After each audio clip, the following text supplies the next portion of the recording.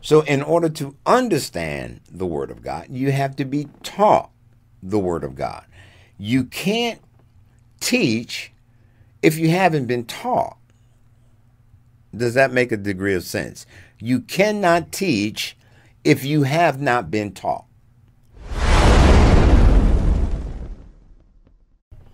Well, we're going to talk tonight about the tradition of the elders. Now, some people may be thinking to yourself, some people may be saying, What in the world are the tradition of the elders? Now, before we get into the tradition of the elders, I want to make a few statements about tradition. One of the statements that I often hear today is people talking about tradition. It's not about tradition, it's about the Word of God. It's not about tradition, it's about the Scriptures. It's not about tradition, it's about the move of the Holy Spirit. It's not about tradition or it's not about religion. I'm not religious, I'm spiritual. And I know that these are very common statements that we make today. But I want to point some things out about this issue of tradition. There are actually in the scripture two types of tradition. And we're going to look we're going to look at this because we need to understand this as we move forward in the things of God. The first type of tradition that you will find in scripture is what I will refer to as God ordained tradition. In 1 Corinthians chapter 11 and verse 2, the apostle Paul was writing to the church and he said, "Now I praise you because you have remembered everything I told you and you maintain the traditions just as I handed them on to you." Let me read that again. Now I praise you because you have remembered me in everything and you have kept the traditions. Now, the King James says, kept the ordinances. The word tradition in the Greek is the word paradosis. It's it, now, I'm not going to be getting into a lot of Greek, and I'm going to explain why. But the Greek word is paradosis, and what it literally means is an established practice and or belief. That's what tradition is. It is established practice and belief. Paul, in writing to the church of Corinth, says, I praise you because you've remembered me in everything and you maintain the traditions just as I handed them on to you. So, writing to the church of Corinth, the church of Corinth had received the practices and the beliefs that Jesus left for his people. Those are what Paul is referring to when he says the traditions. In Second Thessalonians chapter 2 verse 15, Paul writes, "So then brothers and sisters, stand firm and hold fast. Now, I want you to keep that phrase in your mind. Hold fast to the traditions, to the established practices and beliefs that you were taught by us, either by word of mouth or by our letter or our epistles. So, what we have in the New Testament letters are the practices and the teachings that Jesus gave to the 12, to the apostles, and also gave by revelation to the apostle Paul. This becomes the foundation upon which the people of God are to rest their experience with the Lord Jesus. So Jesus didn't leave us to try to figure things out on our own. He actually sent the apostles to teach. So Jesus taught the apostles, the apostles taught the early church by word and by letter. That that's what makes up the New Testament. So when we are reading the New Testament, we're literally reading what Jesus gave the apostolic fathers. Now, I'm I'm using that term apostolic fathers to refer to the apostles. I'm not using it to refer to the second and third generation Greek apologists that people often refer to as the church fathers. We're talking Tertullian, Irenaeus, Origen, numbers of them. Okay? I'm not referring to that group. We'll get to them in a, in a different conversation. But the apostolic fathers, that would be the apostles of the Lamb, the 11 specifically. Remember, Judas betrayed Jesus, another took his place. All right? God revealed, Jesus revealed himself to the apostle Paul on the road to Damascus and gave him a revelation of the the message of the kingdom of God. Paul preached that message, he taught that message, he wrote letters of correction to the early churches, and he gave them the traditions, listen, the established practices and beliefs for the new covenant community. We refer to this as the apostles' doctrine. Stay with me. The apostles' doctrine. Okay. So, in Matthew 13, however, or 15, we, we find an interesting statement by Jesus. We're going to look at another type of tradition. And in Matthew chapter 15, and I'm going to begin reading at verse 1. Then came Jesus, scribes, then came to Jesus, scribes and Pharisees saying, Why do your disciples transgress, watch, the tradition of the elders? And we're going to look at this body of teaching and practice known as the tradition of the elders. Jesus never got into conflict with the religious leaders of his day over the the the writings in the Hebrew scriptures, the Septuagint. He never got into a, a discussion. He never got into a problem about the law of Moses. He never got into any challenges about that because he never broke them. He came to fulfill the law, not do away with it. So Jesus never got into in, into debate with the religious leaders over the teachings of God, the teachings of the scriptures. All of the conflict that we read about in the New Testament has to do not with the law of Moses or the law of God, the Ten Commandments. It had to do with this thing called the tradition of the elders. And we need to understand what these traditions of the elders are. Now, watch this and how they came about. He says, Why do your disciples transgress the tradition of the elders? For they wash not their hands. They don't wash their hands when they eat. And so Jesus answered and said to them, Now, watch this. Why do you transgress the commandment of God for your tradition. Verse 7 You hypocrites, well did Isaiah prophesy of you, saying, This people, now this is a strong indictment against religious leaders. This is a very strong indictment against religious leaders.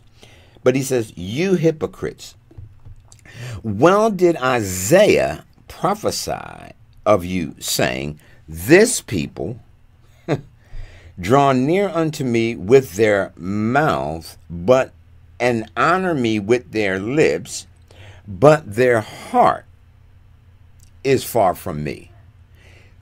We can all give lip service to Jesus. We can all talk about how much we love God, how on fire for God we are, how how sent we are to defend the word of God. We can all give lip service. That's that's nothing new. But Jesus says their heart is far from me. What Jesus is interested in is the condition of our heart.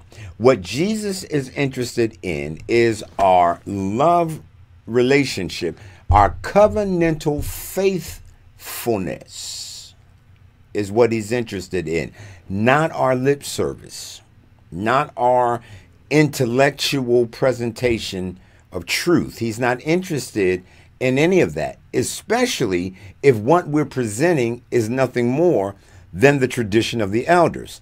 And what we're going to discover is that there's a large body of teaching today that is nothing more than the tradition of the elders. Y'all stay with me. This people, Jesus said, draw nigh me with their mouth, they honor me with their lips, but their heart is far from me. What do they do?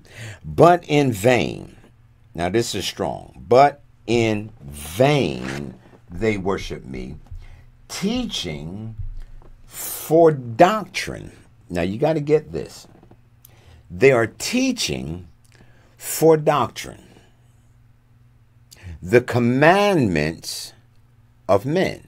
What are these doctrines? Doctrine is really teaching. Te- doctrine are the principles of God. Doctrine are, are, are, are the precepts of God. Doctrine is the body of instruction from Jesus that he gave. Now, Jesus is saying about these religious leaders, but in vain they worship me. In other words, their worship ain't about nothing. I hear everything that they're saying, but their worship isn't about anything. Why?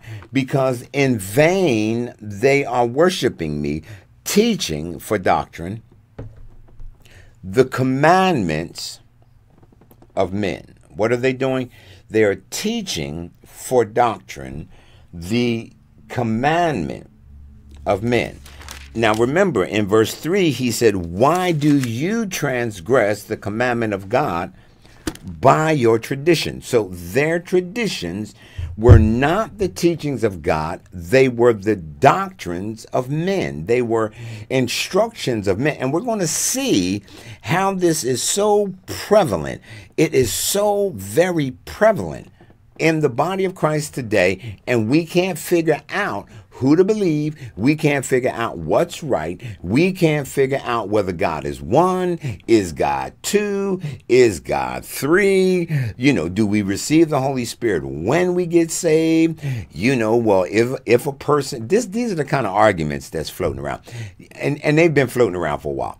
You, you know, is is is the Trinity true or is oneness true? Is is there is there one God who exists in three people, or is there one God who reveals himself in three different manifestations? You know, and then everybody on on one side or the other is accusing the other of being a heretic. This stuff is crazy.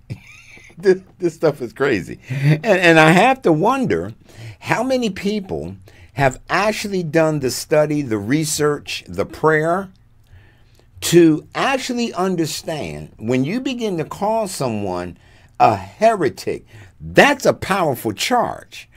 And if we are calling people heretics, false prophets, and false teachers because they have a view that is historically older than what we believe this is kind of strange. Y'all stay with me.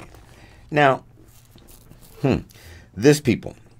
Now, in Matthew chapter 15, verse 6, what did he say? He says this Thus, you have made the commandment of God of none effect by your tradition.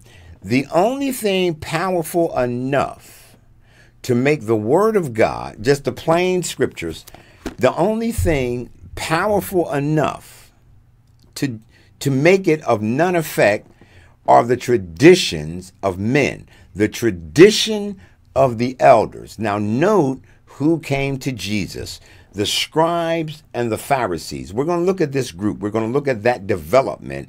And then we're going to look at modern day scribes and Pharisees. Because God is setting his people free.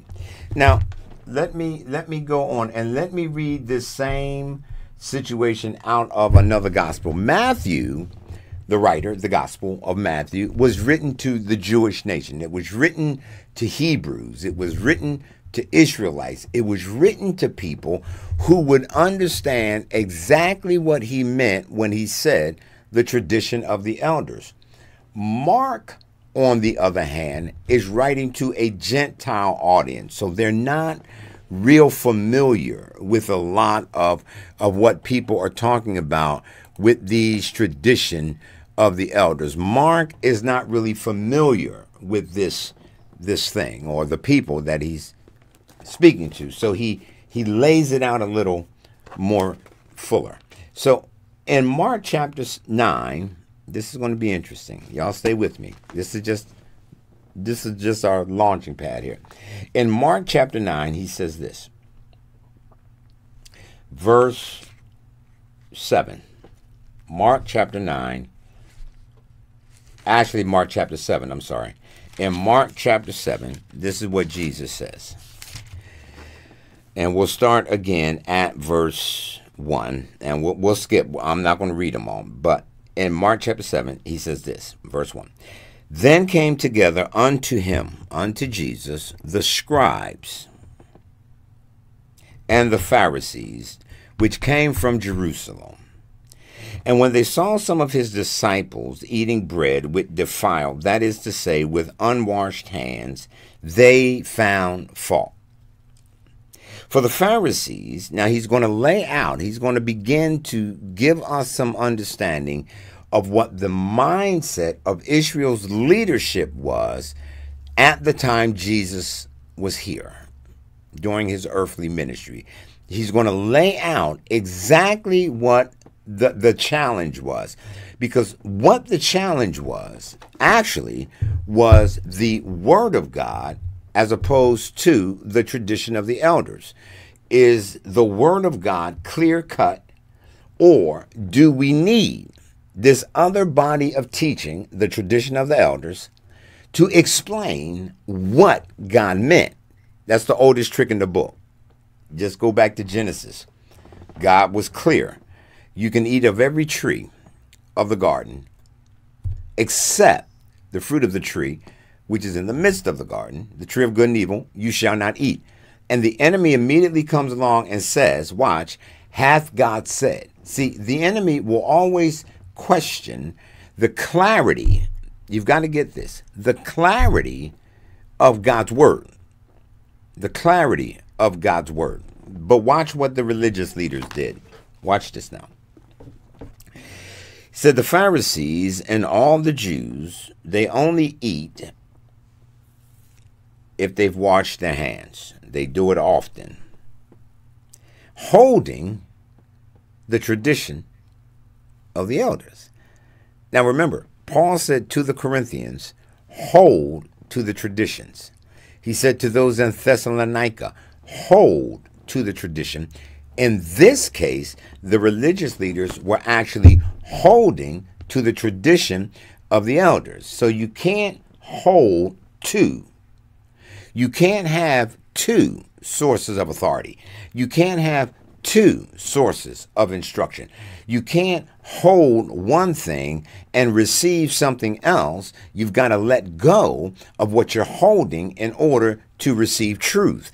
This was the issue with Jesus because they were so bent on holding to their tradition, they couldn't receive the word of God as it came forth from God manifested in the flesh. Stay with me. They only eat. So when they come from the marketplace, except they wash, they don't eat.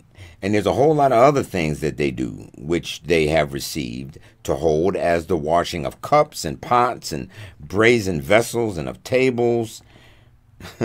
So the Pharisees and the scribes asked Jesus, Why don't your disciples walk according to the tradition of the elders, but they eat bread with unwashed hands. See, they weren't questioning Jesus about his disciples when it comes to the commandments of God. They were questioning why the disciples didn't keep the tradition of the elders because they're not the same thing. They're not. Now, watch. So, again, Jesus said unto them, Well did Isaiah prophesy of you hypocrites as it is written, This people, they honor me with their lips, but their heart is far from me. Howbeit, in vain do they worship me, teaching as doctrine the commandments of men.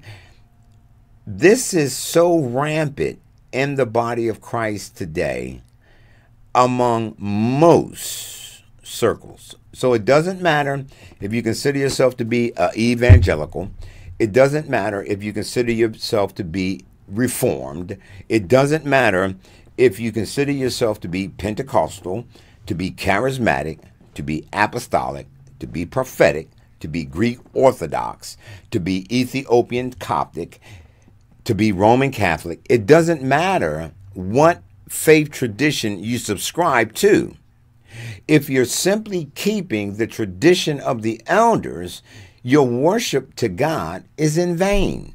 God is a spirit, and they that worship him must worship him in spirit and in truth. Jesus prayed, Father, sanctify them through thy truth. Thy word is truth. See, scripture is very clear. Scripture is very easily understood. Now, when I say very easily, I'm talking about we do have to have the Spirit of God give us an understanding of the scriptures. See, I still believe that all scripture is given by inspiration of God and is profitable for doctrine, for reproof, for correction, for instruction in righteousness, so that the man of God might be thoroughly furnished unto all good works.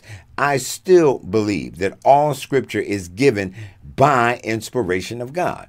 I believe that the Spirit moved upon men, as Peter tells us, and they wrote the scriptures.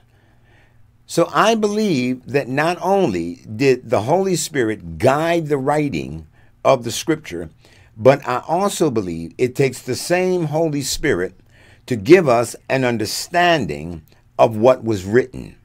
Does this make sense? So we can comb through, we can pour through theology books, we can comb through and pour through the Hebrew, the Greek, the Aramaic, the Latin. We can do all of that. But the Father is so wise that he used people who were scholars, who were Greek scholars, who were, I'm not talking about took a couple of courses in Greek and know how to read a Strong's exhaustive concordance. I'm not talking about that. I've been through seminary, I have my master's, I get it, I understand, but that's not what I'm talking about. Because you can do all of that and still not have an understanding, a clear understanding of what the scriptures actually teach. And many people know more of what their organization teaches, what their faith community teaches, what their denomination teaches, than they do what do the scriptures actually say. Stay with me. So he says, Howbeit in vain they worship me, teaching for doctrine the commandments of men, laying aside the commandment of God. I don't even want to begin to talk about that. We'll, we'll, we'll get to that a little later.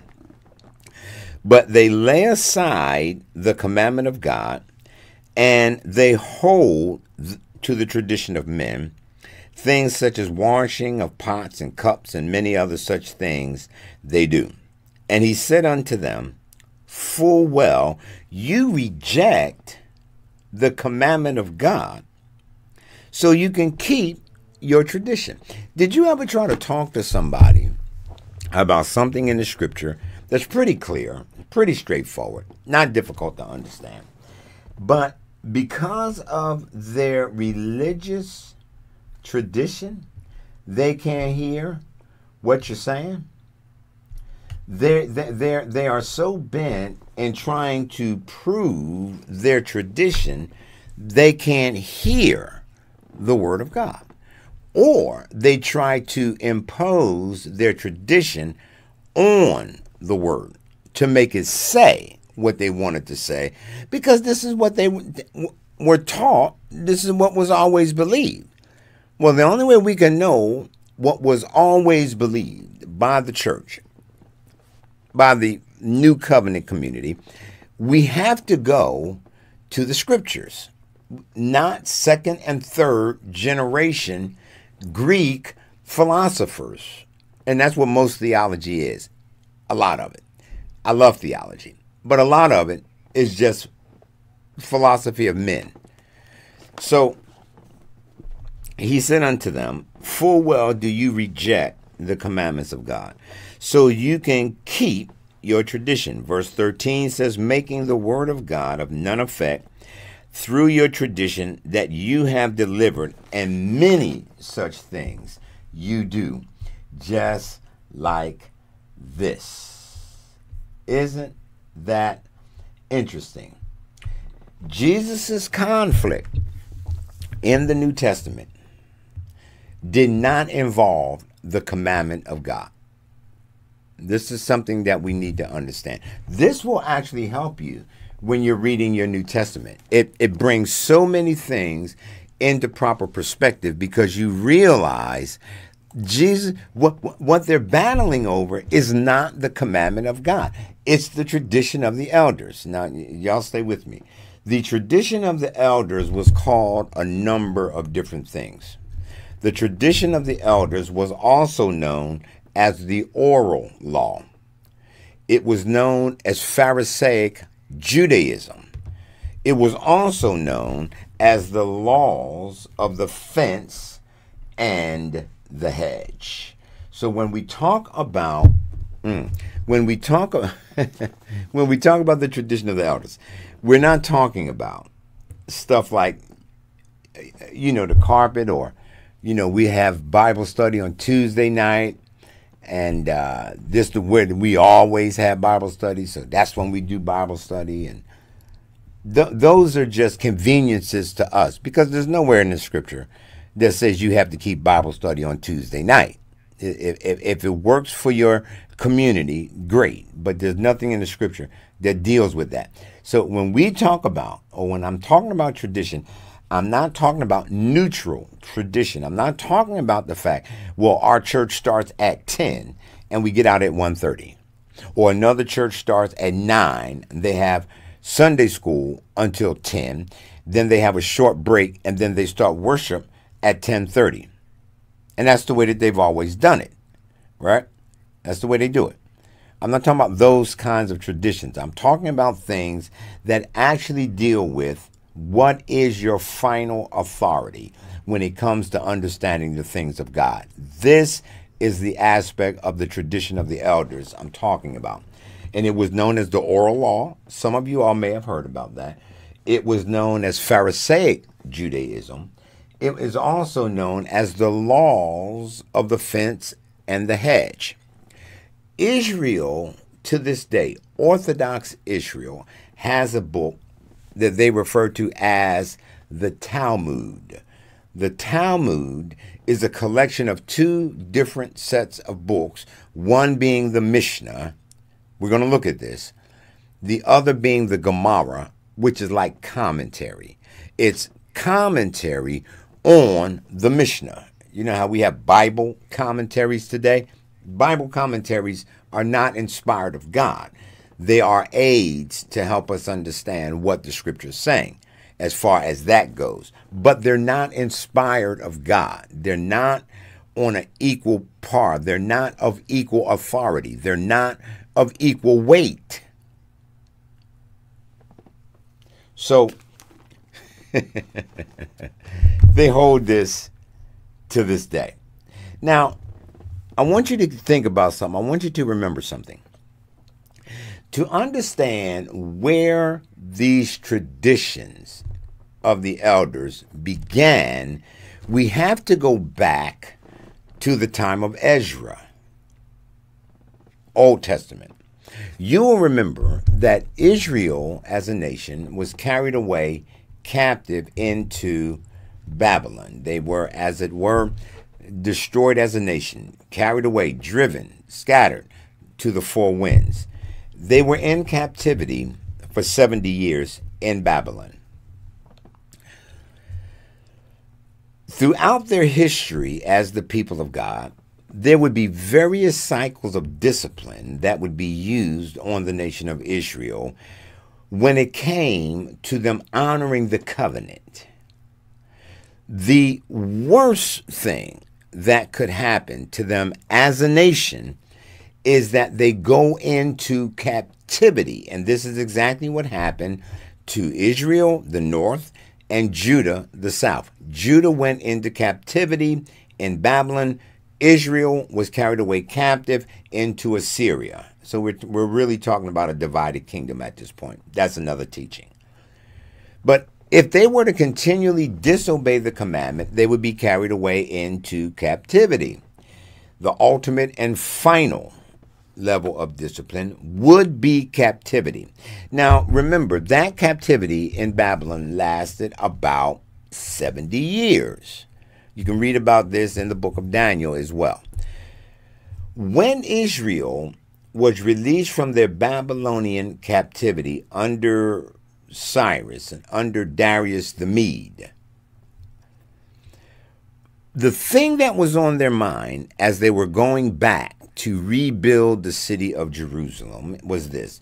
We know that we went into captivity because we disobeyed the covenant. We dif- disobeyed the law of God. We disobeyed the Mosaic covenant. That was in their mind. They're, they're coming out of captivity, they're going back. They've got a lot of time to think about what they've done.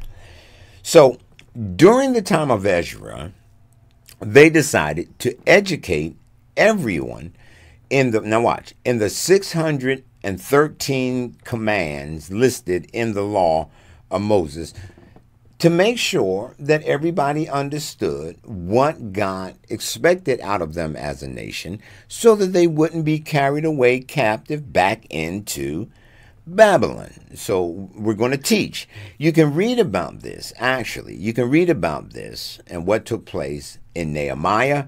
You can read about it in the book of Ezra. That's what those books are all about the rebuilding of Jerusalem. But they're centering and they're focusing on educating the people of God. So Ezra set up what became known as the School of the Scribes. This is where the scribes originate. So if you if, if, if you're ever reading the New Testament and you read the scribes and the Pharisees or certain scribes, this is who the scribes were. Okay? They were set up under Ezra and they began to teach the Word of God. Now, that's a good thing Whenever people begin to teach the Word of God, whenever people begin to emphasize the Word of God, that's a good thing. And it's typically always a sign that God is working reformation because what is at the center of reformation is not tongues. What's at the center of reformation, of signs, wonders, and miracles, eh, or, or the center of Reformation is not signs, wonders, and miracles, was at the center of all true Reformation is the word of the Lord. Signs, wonders, and miracles confirm the word. That's what they do. If there's no word and there's a lot of signs, wonders, and miracles, they're lying signs, wonders, and miracles. Scripture is clear about that. So these scribes, their actual name that they would go by was the Sopherim. The S O P H E R I M, the Sopherim, And their function, now this is where it gets interesting, was to teach the 613 Mosaic laws in such a way that the people actually understood the Word of God. That's a good thing. So, in order to understand the Word of God, you have to be taught the Word of God. You can't teach if you haven't been taught. Does that make a degree of sense? You cannot teach if you have not been taught. So here we go. He starts raising up Bible teachers because he wanted people to understand. Here's the problem with church history. Here's the problem throughout history. This is what you will discover. Whenever someone is raised up, or a group of people are raised up during a time of reformation, such as John Wesley, Martin Luther, Calvin. I've mentioned a couple of these people, John G. Lake, and many others. Whenever people are raised up with a word that is bringing people back to the clear utterances of the scripture, as the second and third generation of people begin to come in, it tends to get corrupted. It tends to get perverted. So, what began as a genuine move of God ends up being a monument to somebody. This is where denominationalism comes from. You can trace every denomination to someone God was raising up to restore certain truths of His Word. However, as generations pass, the emphasis becomes maintaining the monument to the man, and oftentimes what the man actually taught is lost in other people's interpretation of what they thought he taught. Does this make sense? This is why the Word of Faith movement takes so much heat today. It's it's not because people have gone back and and looked at individuals who were used by God when it comes to restoring an understanding of faith in the body of Christ. And I'm not talking about your 1970s, 80s word of faith teachers. I'm not talking about them. I'm talking about the individuals going back into the 18 and the 1700s when God was teaching his people how to live by faith, how to believe God, how to expect God to confirm and honor his word. I'm talking about that group. It's the later generations that have gotten way off base with what the original intent of faith is. And they've turned faith into a means of of really of of capitalistic gain, especially in America. So faith is connected to money. Faith is connected to promotion. Faith is connected to a house. Faith is connected to getting a husband. No, faith should be directed toward us accepting and believing that God has and God will continue to confirm his word. And so all of these different movements, by the time you get to the second or third generation, you have a body of teaching that is distinctly different from what was actually given in the Word that God led individuals to recover and restore that truth. Look at what has happened to Martin Luther's movement. It's the Lutheran Church.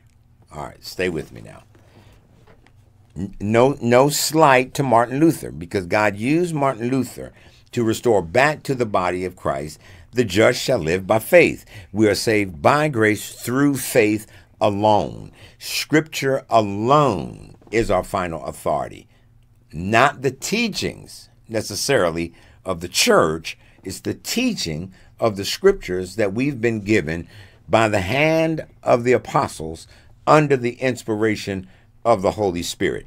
God's word is still true. Okay, let's keep going. So, these individuals, after the time of Ezra, you had the Sopherim. Now, this is what they did. Since they didn't want to go back into captivity again, they say this. Well, we know that this is what the law says. So, is it possible that we can come up with secondary rules Stay with me. Secondary rules that we can build around these laws, which will stop people short from breaking the commandment of God. Y'all stay with me. This is how this stuff got developed. Can we come up with secondary laws? And we're going to look at a couple that they did this to. Can we come up with secondary laws that it's okay if the people break these laws because it'll stop them short from breaking the law of God because, of course, we don't want to go into captivity again. So it's not enough just to teach the word. We've got to come up with secondary laws. Remember this. As soon as somebody says that reading and expounding the scripture is not enough, you should have warning lights going off the body of Christ is flooded today with people who have this kind of mentality and attitude towards the scriptures. So it's not enough just to read the scripture and allow the Holy Spirit to give you an illumination of what's in the scripture because people want a revelation. They want a download. You know, God God spoke to me today and what God told me is X, Y, and Z. I'm fine with that. I believe that God communicates with his children. But I believe that we have to check any so called revelation that we receive. We need to check to make sure it lines up with the ins- inspiration of the scripture. Because any revelation that violates the inspiration of the scripture is not a revelation. At least it's not a revelation from Jesus. If the revelation contradicts the inspired text, is not a revelation, not from Jesus. Warning bells should start going off. So here's what ends up happening they come up with these secondary laws They acknowledge the law of God contained in the commandments are the, the word of God, that, which must be obeyed. So they're going to build a hedge around those laws. Because if we surround the law with these secondary laws, this is going to open up the New Testament for you with these secondary laws, the people might end up breaking the secondary law, but they won't break the law of God. What was their point? We're going to build a fence. These secondary laws are going to stop people short of breaking the word of God. Let me give you an analogy. Think about an aircraft carrier. An aircraft is going to land on an aircraft carrier. Ordinarily, a jet needs a pretty long runway to land. They don't have that on an aircraft carrier. So what do they do? They attach a net to the back of the aircraft carrier. There's straps that come up, there's hooks that comes up that actually attaches to the plane and slows the plane down and stops the plane from running off the front of the aircraft carrier. That's what these laws were designed to do. Good thing as far as that goes, in, in a pretty legalistic way. Same thing speed bumps do. We all are familiar with speed bumps on our streets. You're going down the street, there's a speed bump. That speed bump, you have to slow down or you're going to tear your car up. so you want to slow down. This is what these secondary laws of the Sopherim were, desi- were designed to do. But this is what they did they introduced something called Pilpul Logic. You can look this up P I A P I L P A L. It's Pill Pal Logic. Now, this is how Pilpul Logic works. It's incisive and it's sharp. So what they wanted to do with this pilpul logic. I know some people say, man, this stuff is boring. But I'm trying to give you the foundation so you can understand what the scribes and the Pharisees were about in the days of Jesus. Because when you understand what they were about, it will help you to understand how Jesus dealt with them. More importantly, since the enemy has no new strategies, you're also going to see exactly what has happened to the new covenant community, especially in our day to day, because we're dealing with the same thing and it was derived the same way. Logic. Now, watch. So they have pilpul logic. So we want to see how many secondary laws we can arrive at from each of the 613 Mosaic laws. Let me say that again. What pilpul logic is going to do, they're going to see how many secondary laws that they can construct around each of the 613 laws contained in the law of Moses reason and logic. We're going to make a hedge around the law. So let me give you an example of one of these laws, and you're going to see how it happened. In the book, let me make sure I have the right chapter here. In the book, yes, of Exodus, chapter 23, it says this Exodus chapter 23. Here's what it says. You don't you don't you don't have to turn there. You, you you'll find it later. Do not boil a kid in its mother's milk. Isn't that interesting? Do not boil a kid in its mother's milk. What on earth is that about? Now, remember, as Israel was traveling to the promised land, they were coming into contact with all of these other pagan nations. They were coming in contact with the Canaanites, the Hittites, the Jebusites, all of these other pagan nations who were involved in all kind of ritualistic religion. It's amazing. Man has always been religious. Man has always sought to try to figure out where to find God. The difference with the faith of Jesus is this it's not about us seeking God in that sense. It's about the fact that God came seeking us. That's that's really the difference. When you think about the difference between uh, being a follower of Jesus and just being religious, religion is all about what you can do to please God or what you can do to find God, what you can do to believe everything right. You know, jot the I's and the tittles, right? because you think that your intellectual acceptance of certain principles, whether they are the tradition of the elders or the commandments of God, you think that simply because you give lip service to it, but your heart's not in it, so you're not willing and obedient, in other words. This is what Israel's dealing with. So they're going through this wilderness and they're, they're seeing all this stuff happening. Now, the Canaanites had this practice. it's really a fertility, right? You know, most of the laws of Moses are designed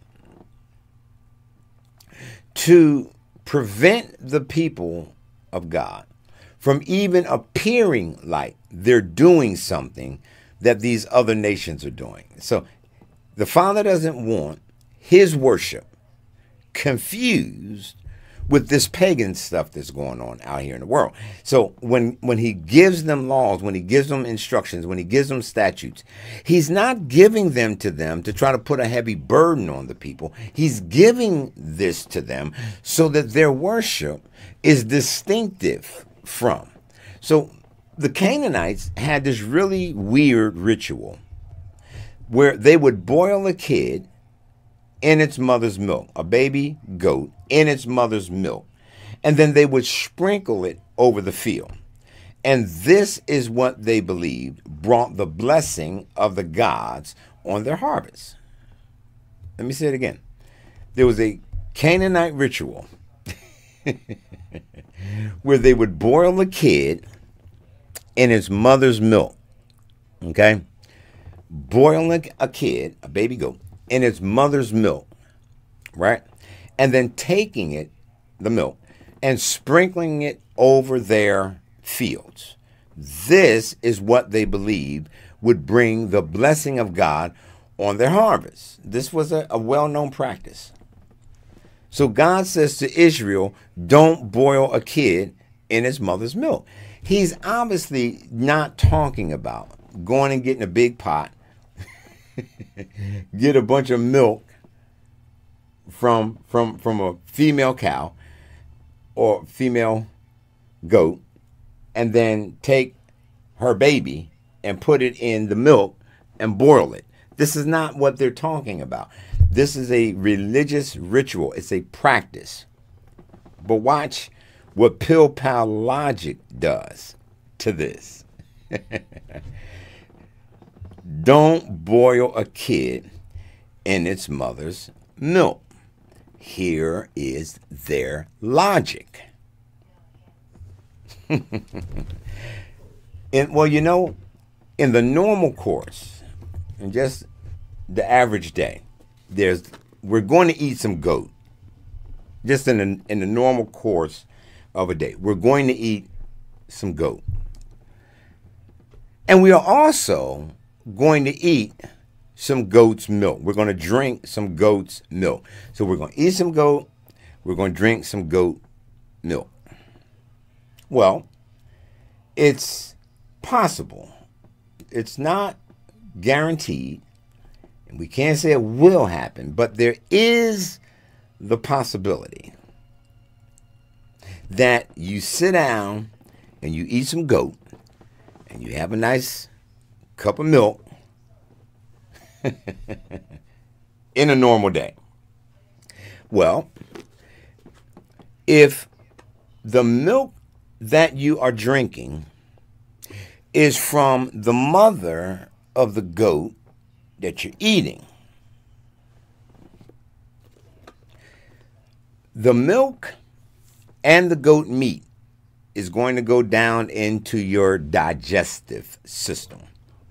Your digestive system is going to heat up and it's going to draw out of the goat and the milk its nutrients. That's how our digestive system works. The acid build up, right? Well, if the milk is from the mother of the goat that you're eating, you have just boiled a kid in its mother's milk. The acids in your body heating up because you ate them at the same time. This is pilpul logic. This is how they came up with all of this stuff in the Mishnah. Y'all stay with me. Y'all stay with me. And so if you do that, we're going to be carried away into captivity again. So what they did is they introduced laws of the separation of milk or meat and dairy product. Don't take my word for it.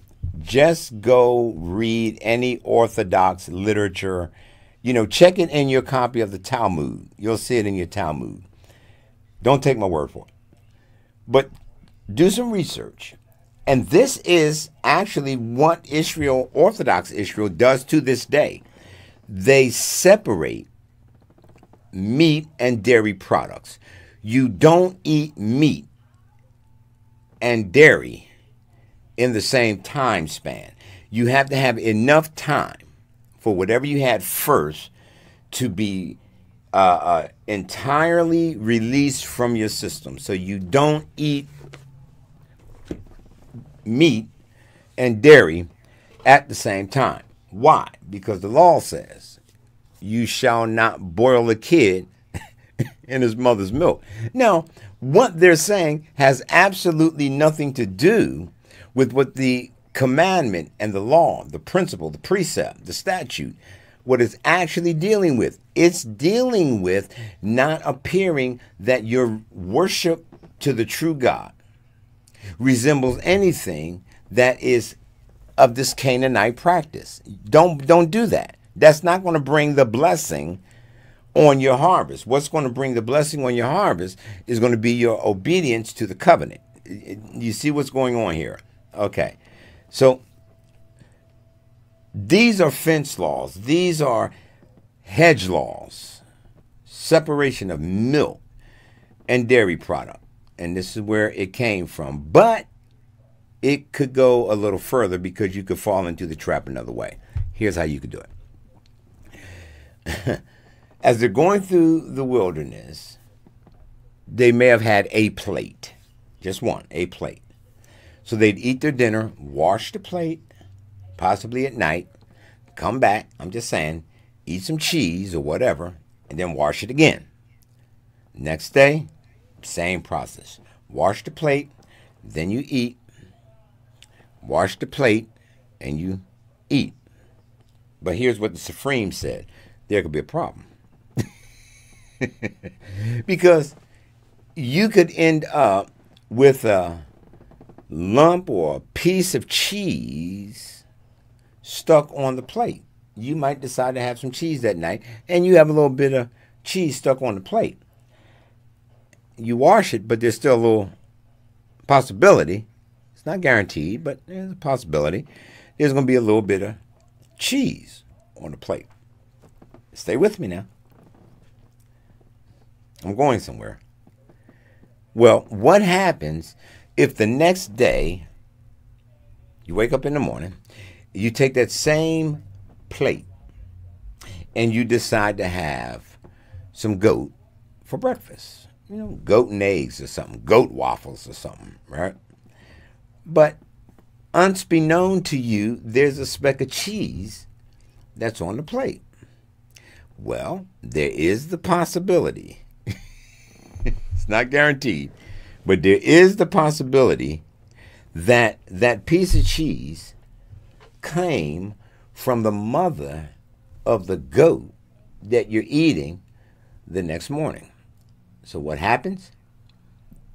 The milk, cheese product, dairy, and the meat go down through your digestive system. Your digestive system heats them up. You've just boiled a kid in his mother's milk.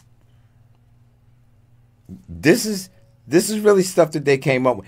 Now, this stuff sounds crazy to us, doesn't it? Sounds crazy, right? But this is how they came up with this stuff that we read about in Mark. They, you know, they wash their cups. They wash this. They they have this law. They got to wash their hands. They have to do this. They got to do the other thing. They got to do the other thing. These are the traditions of the elders. This is what was introduced in Israel starting back with Ezra. But something happened. Y'all stay with me. Something happened. They're adding all of these laws. Remember, they're doing this to all 613. So they have to find out how many ways. So we've got the separation of milk and, and, and meat product. We got the separation of cups. We got we got all of these washings that have to happen. We have all of this stuff that you've got to do. This is the tradition of the elders we're talking about. This is the New Testament conflict. This is it. Now watch this.